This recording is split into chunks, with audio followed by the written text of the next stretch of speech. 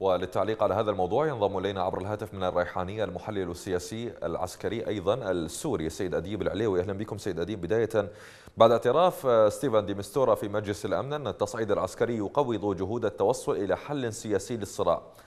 ما المنظر من المجتمع أو من عفوا ما المنتظر من المجتمع الدولي لوقف هذا التصعيد؟ نعم. تحياتي لكم تحياتي للمشاهدين الكرام.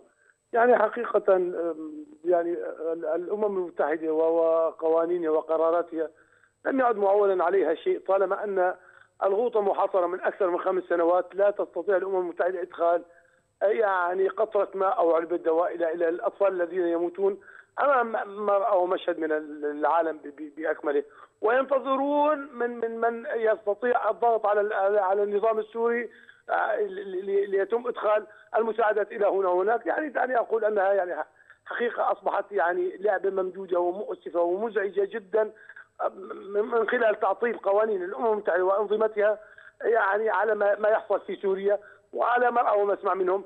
طبعا هذا ببساطة شديدة من خلال الفيتو الروسي الذي تستخدمه ومن خلال الضغط الروسي الذي تقوم به ومن خلال اللعب الحقيقة دعني أقول القانونية الدولية التي تلعبها الولايات المتحدة الأمريكية مع مع مع, مع طيب. روسيا، الولايات المتحدة الأمريكية تعتبرها روسيا بأن دخولها إلى سوريا غير شرعي وهي تقول أنها جاءت لمحاربه الإرهاب، روسيا تقول أنها دخلت بشكل شرعي وانها أيضا جاءت تحارب الإرهاب. وفي وفي الحالتين هي حقيقة كذبة كبرى. الطرفين لم ياتوا لمحاربة الإرهاب بل أتوا وأتى معهم الإرهاب من أجل تدمير سوريا ومن أجل احتلال سوريا. سيد أديب في نفس الجلسة قال ديمستورا إنه يعقد مشاورات مع كل الأطراف المعنية لدفع عملية جنيف للأمام. إلى أي مدى ترى أن أطراف النزاع مستعدون لهذه الجولة في ظل المجازر المستمرة في المناطق المحررة؟ نعم يا سيدي الكريم حتى الآن يعني بالنسبة للثورة والمعارضة يعني تقر بما جاء بجنيف واحد تقر بما جاء ب 22 54 لكن الحقيقة النظام حتى هذه اللحظة يرفض ال 22 54 يرفض جنيف واحد حتى أنه يرفض مخرجات سوتشي بعد أن طبل وزمر لا في بداية الاجتماع سوتشي.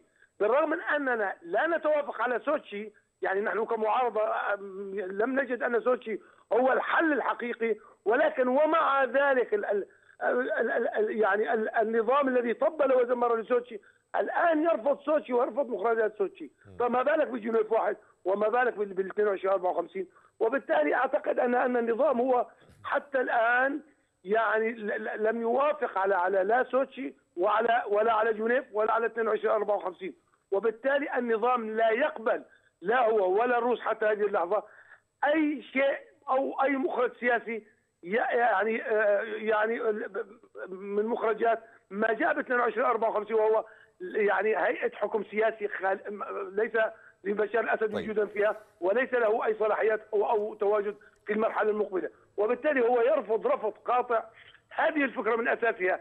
هو يعتمد فقط على أن يكون هناك هيئة حكم كما يسمونها ليست حكم انتقالي ولكن هيئة حكم وطني كما هو سيد أديب هناك من يرى أن لقاء وزير الخارجية الأمريكي بوفد من الهيئة العليا للمفاوضات في عمان يوحي بعودة أمريكية إلى الملف السوري إلى أي مدى تستفيد المعارضة من هذه العودة فيما لو تمت؟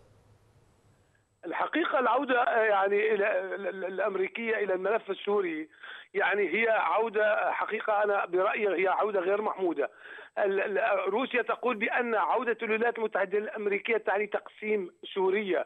ولكن في الحقيقة هو أمران أحلاهم ومروا.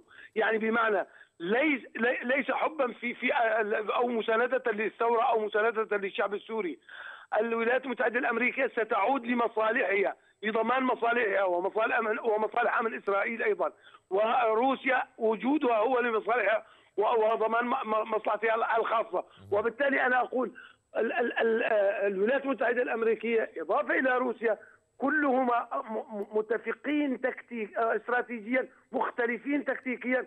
كلهم يريد قتل السوريين لكن بطريقته بطريقه بطرق مختلفة. نعم. وبالتالي أنا أقول يعني روسيا والولايات المتحدة الأمريكية دولتي احتلال إضافة إلى إيران هما دولتي احتلال لسوريا. وهما يتقاسمون الكعكه السورية كما يشاءون والاختلاف على القسمة وليس على شيء آخر. كنت معنا من الريحانية المحلل السياسي والعسكري السوري السيد أديب العليوي شكرا جزيلا لك.